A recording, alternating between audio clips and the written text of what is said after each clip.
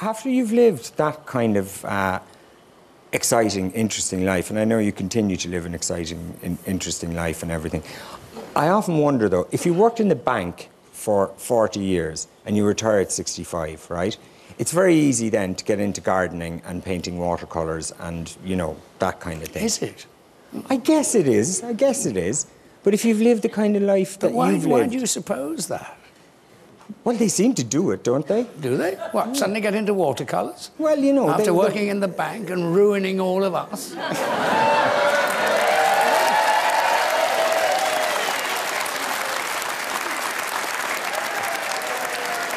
oh, Jesus, I think I'll do a nice little watercolour this morning. just, just to remind myself how many people I've destroyed. Yeah, I suppose the point I was making though really was that if you haven't lived an extraordinary life, it's quite easy to get older and it, it you know, to, to kind of retire into, you know, a, a- an uninteresting life. If you've lived a fascinating life as you have and met the people you've met and everything, and then you kind of, you know, you probably don't drink as much as you used to or get around as much as you used to. Is, is everything kind of downhill after that, after you have those times?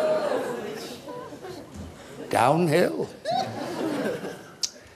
Uh, no, I think I think I think if, if I can make a little little metaphor, Yeah. life is a bit like a mountain, isn't it? It's not right. It's not a sermon, um, but life is a bit like a mountain. You you spend most most of your life climbing up it, and then you have to you suddenly realize when you got to the top of it, you've got to spend the rest of your life going down it. But you've got to remember that going down is as much fun as going up. And actually, it's a little bit more fun because you can, you can remember what it was, the, struggle of getting up. Mm-hmm. And you can go down a little bit more gently, perhaps, you know? Yeah. But it,